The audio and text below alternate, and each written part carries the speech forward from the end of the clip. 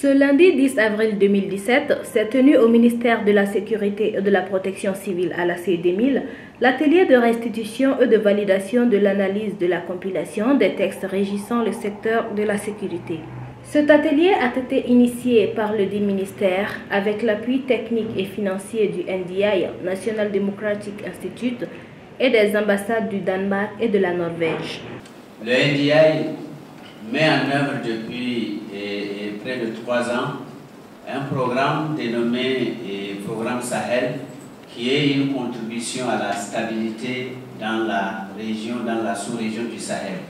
Et dans le cadre de ce programme-là, nous saluons l'engagement et l'implication effective et au quotidien du ministère de la Sécurité. Et à travers cet engagement, plusieurs produits sont aujourd'hui à l'actif du ministère notamment un plan stratégique qui a été élaboré par le ministère au début du programme.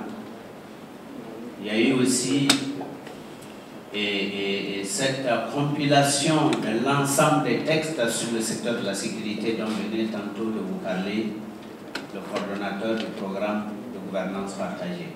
Contribuer à la réforme du secteur de la sécurité en vue d'identifier les insuffisances du Sahara et les opportunités de réforme adaptées à la crise et à ses enjeux au Mali et dans la sous-région du Sahel et du Sahara était l'objectif général de cet atelier.